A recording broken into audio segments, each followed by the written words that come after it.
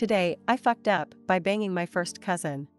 Went out for drinks with my girlfriend and met up with my younger cousin at the bar. We'd all hung out once before and had a great time. My cousin invited a couple of her friends to the bar too. We did some bar hopping. I got shit faced pretty unintentionally. The last bar was, I swear, not putting any mixers in my cocktails, they were straight alcohol. So anyway, we're about to leave and my cousin's friends are trying to get her home because she's shit faced too. Well, my GF was our DD, so we offered to let her stay in our spare room.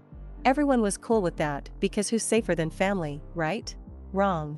My cousin went to the spare room and my GF got her situated. The problem started a little later when I, in my infinite wisdom, decided to walk straight out of my bedroom with my girlfriend in it and into my cousin's room.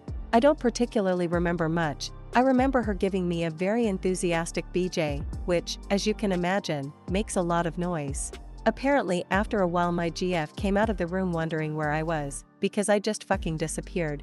She didn't barge into the room or anything, but she heard the noises, which is pretty fucking obvious. So at that point, she left. Like, me. She left me, and I don't blame her.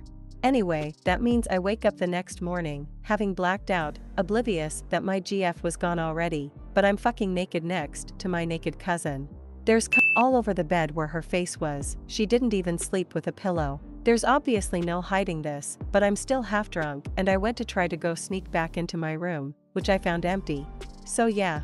I haven't heard from my GF all week, and I'm sure we're done, and I don't blame her. All I can hope for now is that this shit doesn't get out to my family, because I would probably implode. No, my cousin and I are not going to start hooking up regularly. It's actually super awkward and she has hardly said a word to me either. Again, I don't blame her.